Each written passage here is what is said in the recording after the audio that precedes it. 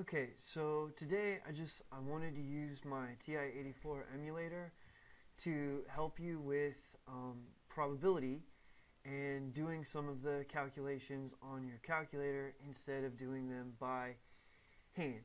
So I just want to take a couple of minutes uh, to give you the three basic functions and where to find them. All right. So the first thing that you've maybe never heard before is the factorial, and I want to give attribution to mathwords.com. And so the factorial is the product of a given integer and all the smaller positive integers. The factorial is written as n exclamation point, so it has the read aloud as n factorial.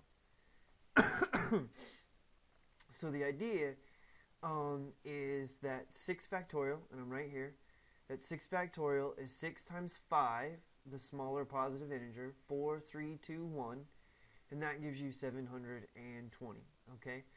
Now, this is uh, nice, and when it's short like this, you could type it into your calculator, right? You could type 6 times um, 5 times 4 times 3 times 2 times 1 into your calculator. But there's a couple of places where maybe you could fat finger it and maybe get the wrong answer. Or if, say, maybe you had to do the 11th factorial, do you really want to go 11 times 10 times 9? I, I don't think so, right? So let's um, go ahead and do this, right? Let's do the 11. Let's do the 6 factorial first. So the 6. And then you go to the math button, right? And everything that I'm pushing is over here. Okay, and you're going to scroll over to the right on the D-pad to probability. The PRB stands for probability. Okay, so this is a math function under probability. And I've hit the right arrow button three times. That's what that means right there. And you can see that function number 4 is the factorial. So I'm going to push function number 4 to get the 6 factorial. And it is indeed 720. So now I can do the 11 factorial, math, over, over, over, number 4. So I can do the 11th factorial and see that it is a rather large number. Excuse me. Because the factorial tends to be really large, you want to be very careful with this. At some point, your calculator will overflow. All right? So, like, if you try to put the 99 fact, oops, let's clear that out. I apologize. If we put the 99th factorial in, right, and I hit enter, you get an overflow error because it's trying to multiply 99 times 98 times 97 and it just doesn't have enough memory to do that. So you will have to do some simplifying to be able to, to do this. And so this is the factorial, and this is how you do it in your calculator. All right. Now the next one that we're going to use is the permutation. And a permutation is where order matters. Okay. So if you're putting things in alphabetical order, you're putting things in order by size, or if you're ranking things from first through tenth, all of those have an order that matters. And so that's a permutation. And so the formula for the number of possible unique arrangements of k objects from a set of n objects. So you're going to pick k things from a set of n things. And so let's think about this for a second, all right? Um, how many ways can four students from a group of 15 be lined up for a photograph?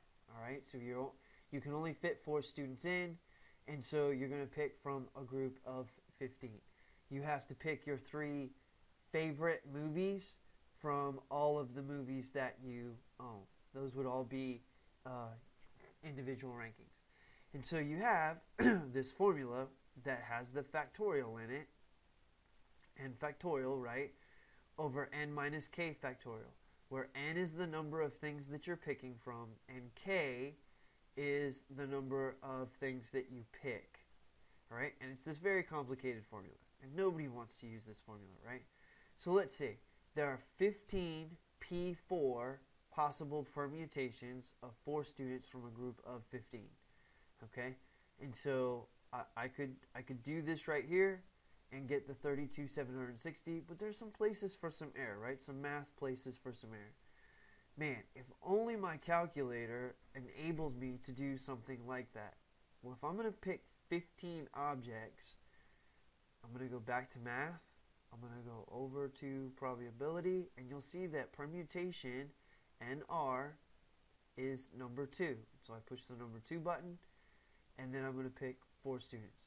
The N always goes first. You have to put the number in first, then select the function, and then the number of items that you're picking. And now when I click it, I do get the 32,760 from before. All right. Excuse me again. So this is how you can use probability. Um, let's say that you have um, the 100 top movies from uh, the American Film Society and you want to rank your five favorite from that list, okay? And you're ranking them first best, second best, third best, fourth best, fifth best. So that being picked third means something different than being picked first. And you hit enter, and there are this many ways of choosing five films to rank in order out of a hundred. Okay? Now, notice how he's being very specific about the language of ranking and order being important. And that's because we're going to come to the combination formula. The combination formula is a formula for the possible combinations of R objects from a set of N objects. Sounds very, very similar, except that for combinations, order is irrelevant. You're just picking uh, four people. You're not rank ordering them, right? You're just picking a movie to watch, not your favorite movie to watch, okay?